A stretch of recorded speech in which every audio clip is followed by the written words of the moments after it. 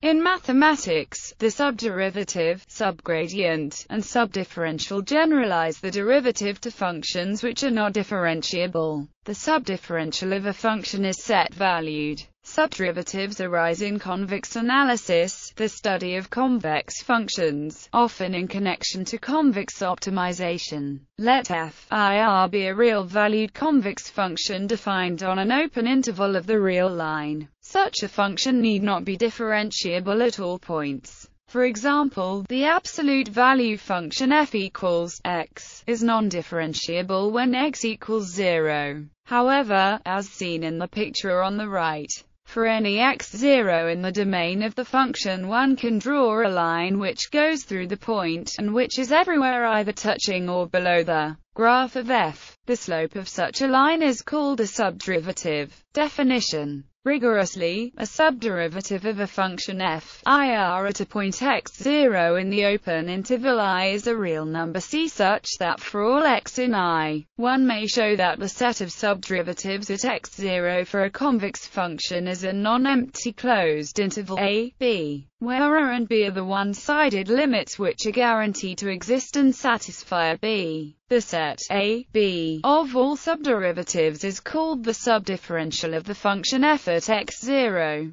If f is convex and its subdifferential it contains exactly one subderivative, then f is differentiable at examples. Consider the function f equals x, which is convex. Then, the subdifferential at the origin is the interval minus 1, 1. The subdifferential at any point x0 less than 0 is the singleton set, minus 1, while the subdifferential at any point x0 greater than 0 is the singleton set, 1. Properties a convex function f is differentiable at x0 if and only if the subdifferential is made up of only one point, which is the derivative at x0. A point x0 is a global minimum of a convex function f if and only if 0 is contained in the subdifferential, that is, in the figure above. One may draw a horizontal, subtangent line, to the graph of effort. This last property is a generalization of the fact that the derivative of a function differentiable at a local minimum is zero.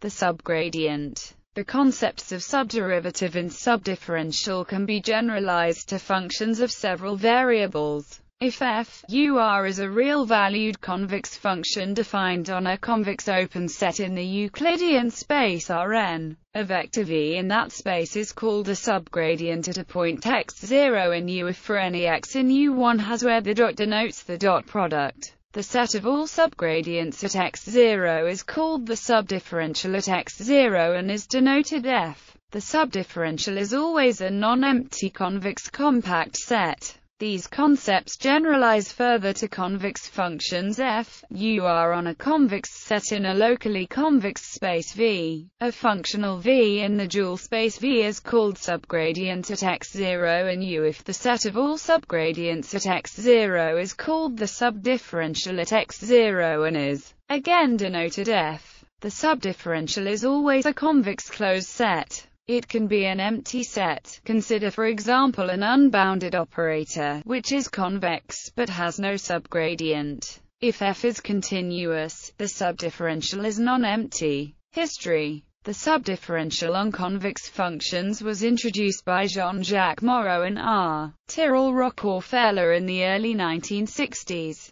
The generalized subdifferential for non-convex functions was introduced by F. H. Clarke and R. T. Rockafellar in the early 1980s.